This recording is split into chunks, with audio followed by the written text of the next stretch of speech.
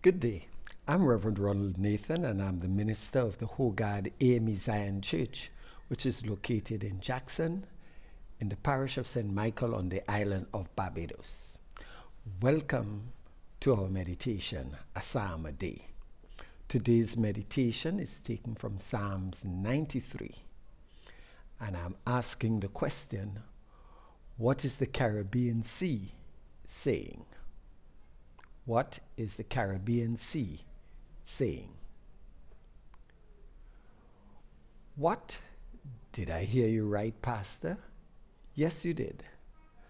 Listen to Psalms 93 and verses 3 to 4.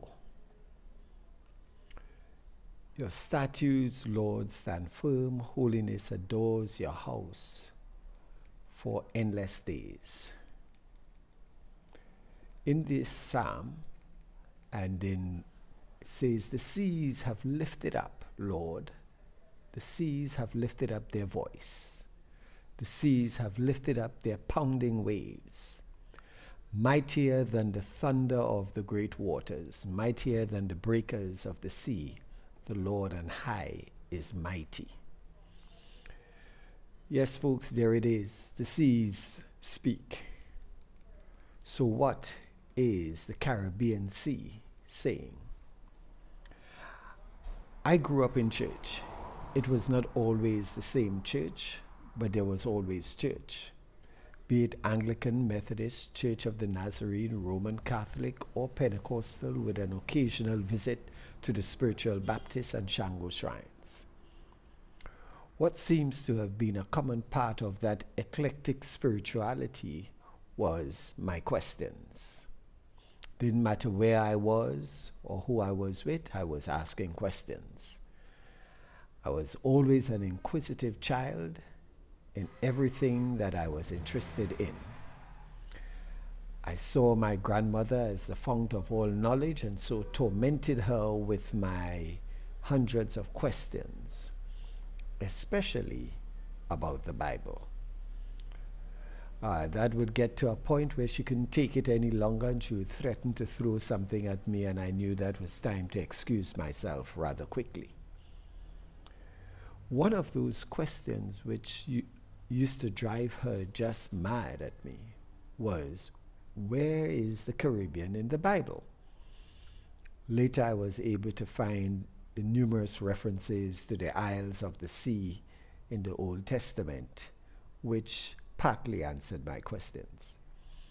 Psalms 93 profiles God and His majesty through respect to the seas. It profiles God, His majesty, in respect to the sea.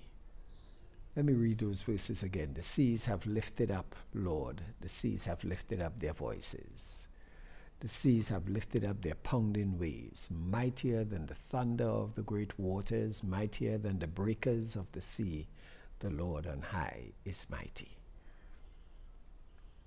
The sea is used as evidence of God's rule, God's power, and God's glory. As David would say in another place, the heavens declare the glory of God, and the earth shows his handiwork. The Caribbean is a body of water adjacent to the Atlantic Ocean, southeast of the Gulf of Mexico. It is bordered by Venezuela, Colombia, and Panama to the south, Central American countries Costa Rica, Nicaragua, Guatemala, Honduras, and Belize on the west, with the Greater Antilles, Cuba, Jamaica, the Dominican Republic, and Puerto Rico, Haiti, on the north and the lesser Antilles of what we call the Eastern Caribbean on the east. Indeed, the beauty of the islands in the midst of the Caribbean Sea is beyond superlatives. This sea covers an approximately 1 million square miles. It is home to 43.5 million people and the complete area of the Caribbean Sea includes its numerous islands.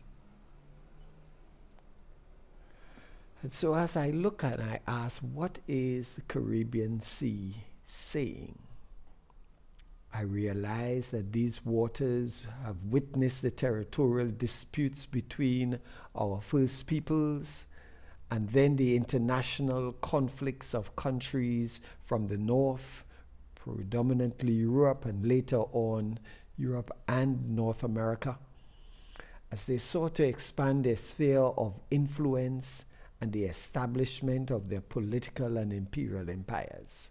The Caribbean Sea has been a witness to all of these activities.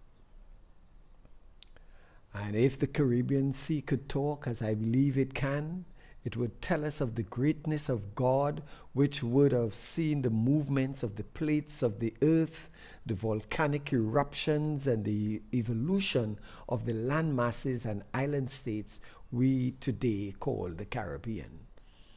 Having then produced some 14% of the world's coral reefs and some of the world's most exquisite flora and fauna. The Caribbean Sea would shout out as is written in verses 1 and 2 the Lord reigns. He is robed in majesty. The Lord is robed in majesty and armed with strength. Indeed, the world is established firm and secure. Your throne was established long ago. You are from all eternity. So the Caribbean Sea would join with the other great seas of the world in declaring God's greatness and majesty. However, when the Caribbean Sea scans humanity, it would find that the statues of God are not kept, and therefore holiness, God's standard for human well being, is abrogated. Let's hear what the psalmist, singer, songwriter had to say. In the final verse of the psalm, he says, Your statues, Lord, stand firm. Holiness adores your house for endless days. The statues that the writer is pointing to is the summaries in that African Asiatic document known as the Ten Commandments. Five of these commandments deal with holiness between God and humankind and their relationship uh, with the divine. And five deal with holiness in our relationship with each other. The Caribbean Sea is speaking and calling for holiness in our public and private spaces.